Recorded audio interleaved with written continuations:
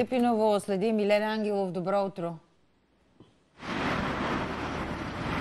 Добро утро! Намираме се на един от ходовете на младсинствения квартал Столипиново в Пловдив, където е твърде вероятно да бъде поставен контролен пункт, от който ще бъдат пропускани гражданите, но за това след малко.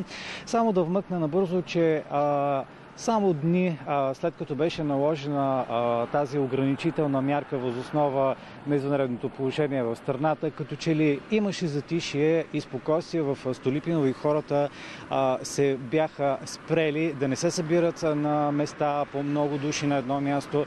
Обаче като че ли с затопляне на времето и слънчевите дни, това нещо започна масово да се нарушава.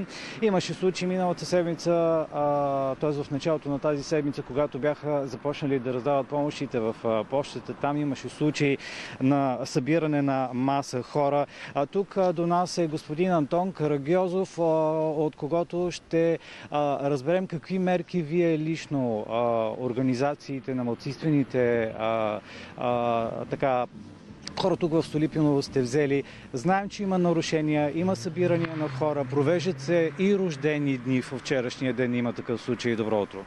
Добро утро. Ами ние при лидерите на общността, живеща в квартал Столипино, преди няколко години бяхме на среща, извикани от кмета на район Източен господин а, Иван Стоянов, а, на която присъстваше и началника на 6-то районно управление. И а, много стриктно казаха какво трябва да направим в Столипино сред хората. През първия и втория ден, като че ли имаше едно по-голяма така организация и спазване на тези правила, но след като се затопли, както казахте, времето започна така много групово да се събират хора и, включително да празнуват и рожден ден.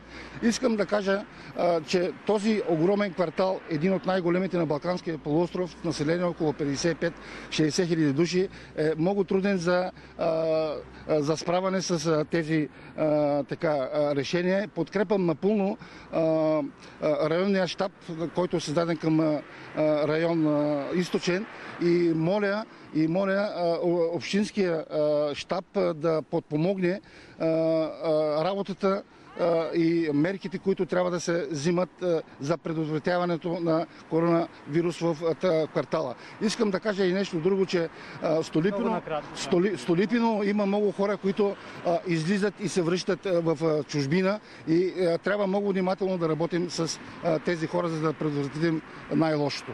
Добре, надяваме се, че тези хора ще е, вземат полука предвид кризисната ситуация с коронавируса. Тук до нас е районния кмет господин Иван Стоянов, кметът на район Източен. Господин Стоянов, сватби, рождени дни, завърнали се хора от Италия, които не спазват карантинния срок. Какви мерки предприема районното кметство? Ние още в неделя извикахме всичките лидери на Столипино. Разпратил съм заповеди на министра на здравеопазването, на националния кризисен щаб, в началото наистина се спазваше тази, тези заповеди, но с затоплянето на времето се видя, че много хора са навън, някои са добросъвени, спазват заповедите, но заради тези, които не спазват тези ограничителни заповеди, ние предприехме така тези мерки, които предложихме на областния кризисен щаб и на общинския кризисен щаб да се ограничи, да има засилено полицейско присъствие. Сега полицейското присъствие наистина оказва контрол. Тук е момента да благодаря на 6-то районно управление, на областна дирекция на МВР, но мисля, че за по-рестриктивни мерки трябва да се намесят и други институции, за да може да се въведе ред и хората да разберат, че това е живото спасяваща мярка, не дискриминационна мярка. А, специално към хората под карантина. Има групи от Италия, които се завръщат. Към тях ще има ли по-специално отношение? И вчера проведох разговори с директора на 6-то районно управление. Към момента в квартала имаме карантинирани 28 човека. Те извършват контрол заедно с Рези дали спазват тази карантинна мярка. За момента се спазва, но за предотвратяване на случаи на не спазване на мярката би трябвало да има наистина по-строг контрол.